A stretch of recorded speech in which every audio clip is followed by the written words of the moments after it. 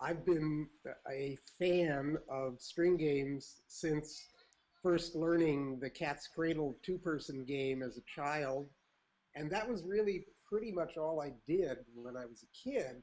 Um, I knew Cat's Cradle, but I didn't really know any others. And then when I was in college studying anthropology, I came across uh, string games in the anthropological context and became fascinated because they are truly one of the, the very few human cultural universals.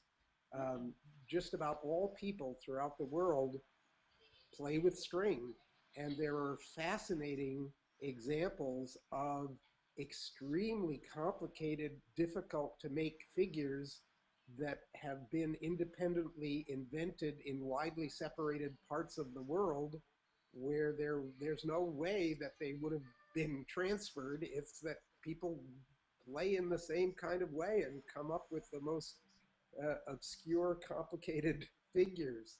So that part fascinates me. And then, of course, using that connection as an entree to multicultural education and global awareness.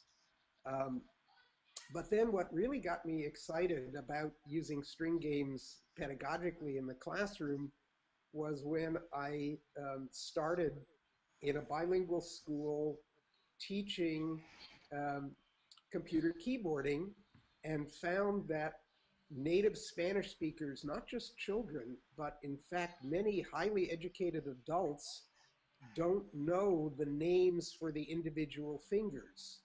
The, the, if you think about it, you know, you don't say pinky, ring finger, middle finger that often.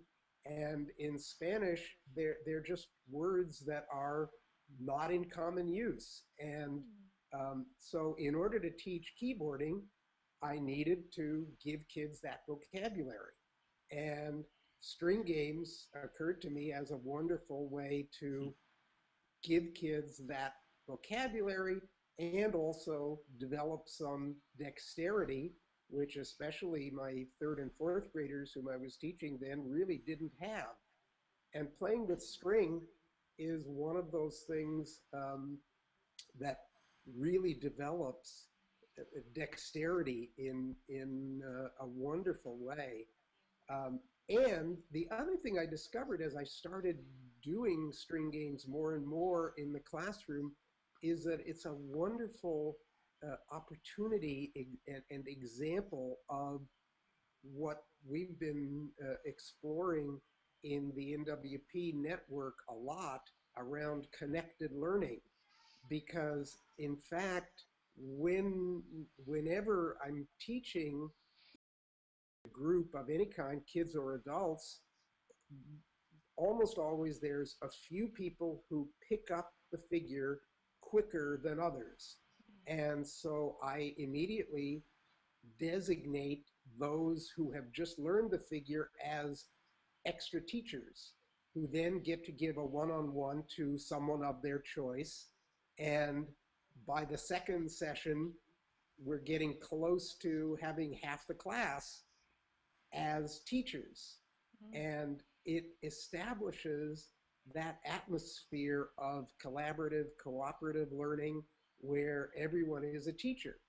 Um, so that's the part that, that really excites me about this.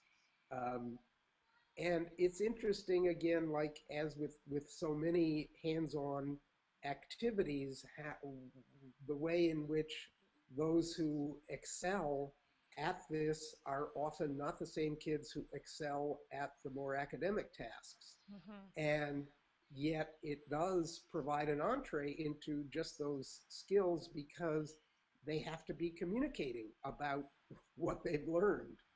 Um, so the communication piece is, is also key and very exciting.